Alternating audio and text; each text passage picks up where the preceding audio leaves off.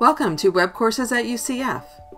In this video, you will learn how to record Zoom meetings and publish your recordings in your course. From your dashboard, select the course you would like to use for the recording. In this example, Zoom is already enabled in the course and appears in the navigation menu. If you don't see Zoom, you haven't enabled it yet. Please visit the UCF Zoom Guide page on how to enable Zoom in your course. Once it has been enabled, it will appear in your and your students' navigation menu. To begin, click Zoom. Here you will see any meeting you have previously scheduled. For this example, we will use an existing meeting. To learn how to schedule meetings in Zoom, please visit the UCF Zoom Guide page. Recordings can be set up during the initial scheduling of a meeting, or you can begin recording while in a meeting. To set up recording when you schedule a meeting, select the Record the Meeting Automatically option. You can elect to save the recording to computer or to the cloud. Cloud recordings are not available immediately. Zoom will notify you via email once the recording is available in the cloud. Please note, due to high volume at this time, recordings may take several hours to become available. If you need to have your recording available immediately, you may want to consider recording it to your computer, then uploading it to Web Courses at UCF. We will show both options for sharing your recordings with your students in a moment. If you select the automatic recording option, recording will begin as soon as your meeting has started.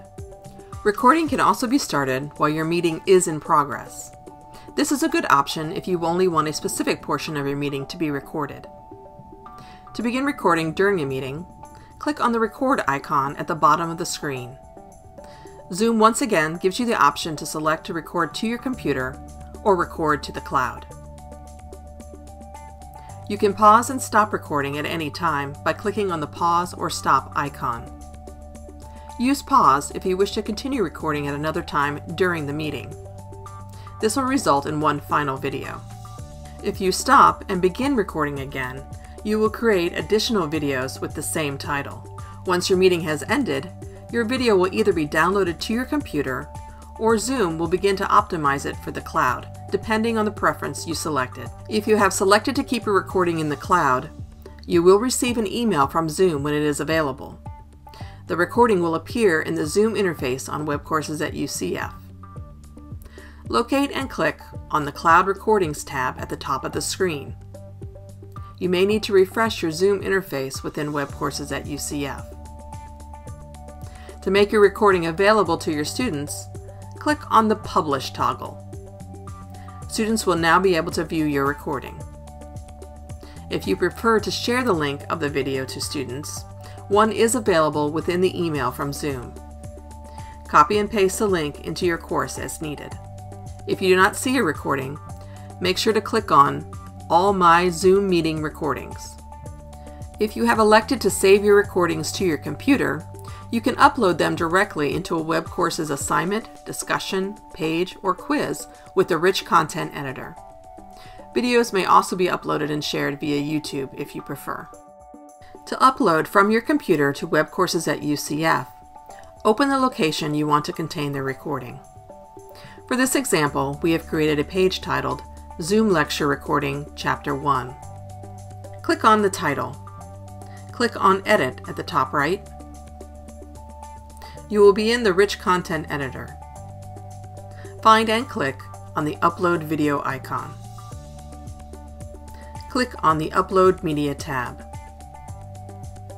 Here you will have the option to just upload the audio version, or as in this example, we will upload the video click Select Video File. Locate your Zoom files. Zoom saves your recordings to the Documents area on your computer in the Zoom folder with a date and time stamp. Next, select the video to upload. Click Open. Your video will now appear in the Rich Content area. You can add other content to the page if necessary. When you are finished, click Save and Publish. Your recording is now available. Please note, WebCourses is set up to alert students via email along with a calendar appointment when you schedule any meeting through WebCourses. If you plan to use Zoom as a tool to record your lecture and then make that lecture available to students to watch at a later time, you may want to set up this recording in ucf.zoom.us.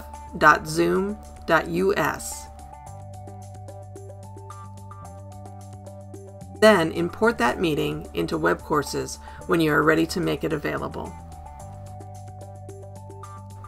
To avoid confusion, we recommend adding the text Recording Posted to the title of the recorded lecture meeting to notify students of the posting.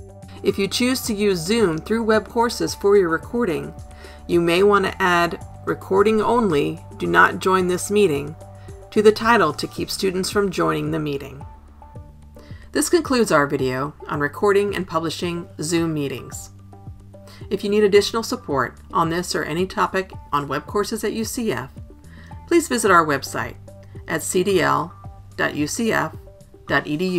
slash support.